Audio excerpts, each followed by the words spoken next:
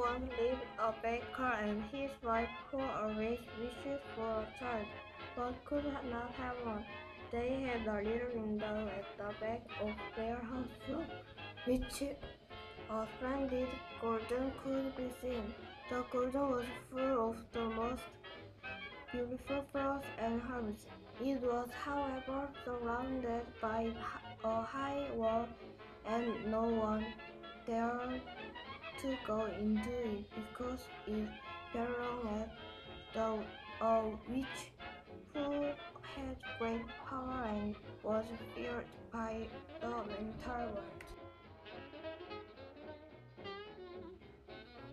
One day, the baker's wife was standing by the window and looking into the garden. When she saw the tastiest bed of Rapunzel, it looked so fresh and green and she wanted some to eat. She wanted the Rapunzel very bad. This desire increased every day. However, she knew that, that she could not get any it any grew more pale and miserable each day. The baker was worried about her and asked what is worrying my wife.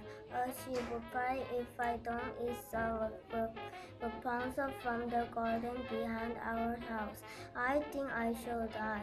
The man who loved her told later that let my lovely wife die. I will bring her some of the Rapunzel myself, no matter what the cost. In the middle of the night, he climbed our, uh, over the wall into the garden of the witch, quickly grabbed a handful of Rapunzel and took it to his wife. She at once made herself a salad and ate it happily. However, she liked it so much that the next day she wanted it there times as much as before if he was to have any less her hundred husband but must one more go into the garden in the dusk of night. He set out again, but when he had climbed over the wall, he was terribly afraid, for he saw the witch standing there.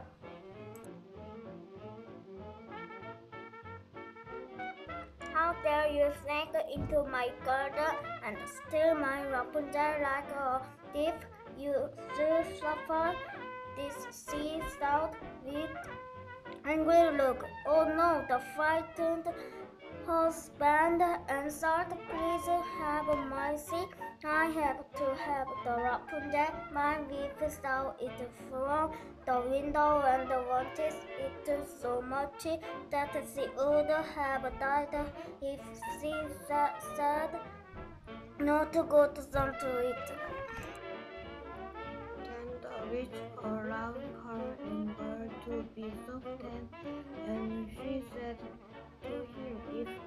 is true, I will allow you to take as much as you like. Only I make one condition. You must give me the baby daughter your wife will bring into the world.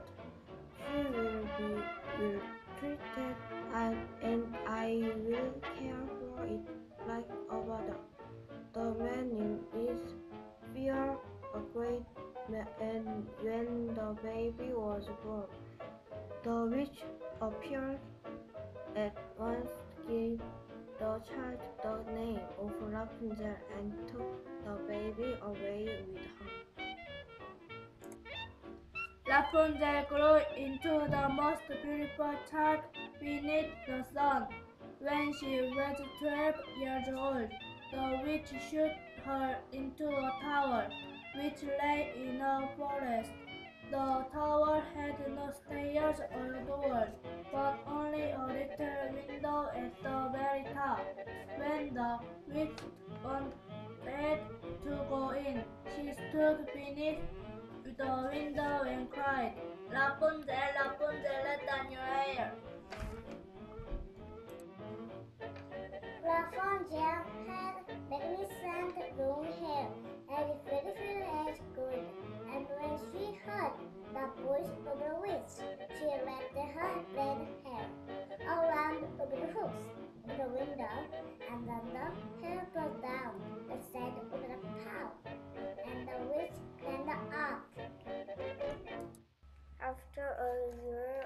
two, a prince flew through uh, the forest and went by the tower.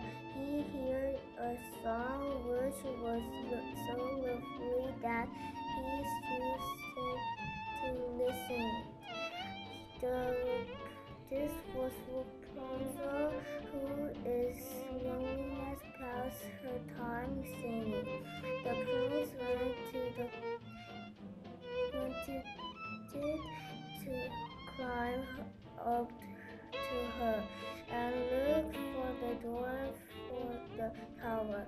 but no noise was to be found. He rode home when the singing had so deeply touched his heart that every day he went out out into the forest and listened to it. One day, when he was standing behind a tree listening to Rapunzel's song, he saw the witch come and heard her cry, Rapunzel, Rapunzel, let down your hair. Then Rapunzel let down her hair, and the witch climbed up to her. If that is how I can to her, The prince and the next day, Wally began new night. He went to the pound and cried, Rapunzel, Rapunzel, them near him. Immediately the hair fell down and the prince up. First, Rapunzel went to the tower, frightened in the freezer and the room. But the uh, prince began to talk, to her like a friend and told her that he loved her singing that he wanted to marry her that Rapunzel lost her fear of him. He asked her if, she would marry um, be and she saw that he was kind and handsome. She said yes and kissed uh, and kissed and hugged him. She said, I will go away with you, but I do not know how to get down. From now on, bring a bit of rope with you. There, every time you come and I will make a ladder with you. With it. When that is ready, I will climb down and we can escape together. They agreed that until that time we should come to her every night because the witch only came to the tower during the day. The witch knew nothing of this until once Rapunzel said in her distraction, Oh my, you are so much happier when you climb than the young prince. Ah, you wicked child, cried the witch. What did you say? I thought I had isolated you from the entire world, but you have deceived me. In her anger, she broke Rapunzel beautiful hair, hair a pair of scissors, and snip, cut it all off. Rapunzel's lovely hair lay on the ground, but the witch was not there. She was so angry that she took poor Rapunzel into a desert where she had to live in the great plain of misery. The witch rushed the back to the tower and fastened the blaze of hair which she had cut up to the hook of the window. And when the prince came and cried, Rapunzel, Rapunzel, let down your hair. The witch ripped the hair down the prince blind to the window, but he died not. Friend hides there. Rapunzel, but in, instead the witch how guessed uh, a pine with awake and deadly look. Oh, sick cried. You become for Rapunzel, but she is no longer here. Rapunzel is finished, and you will never see her again. Prince was very sad, and he fell down from the tower. He landed in a bush at the bottom of the tower.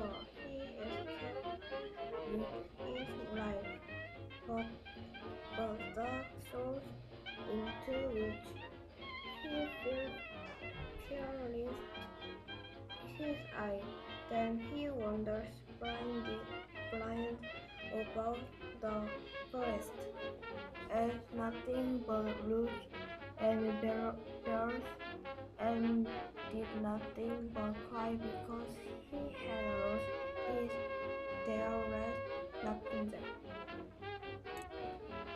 The prince roamed in misery for some months and eventually came to the desert where the witch had babysat Rapunzel. He heard a voice singing and it seemed so familiar to him that he went toward it. When he approached Rapunzel, knew him and fell into his arms and wept. She overheard just her own eyes and the prince he see again. He led her to his kingdom and would appear there children. For his reason the prince and the and the teacher were married and they live happily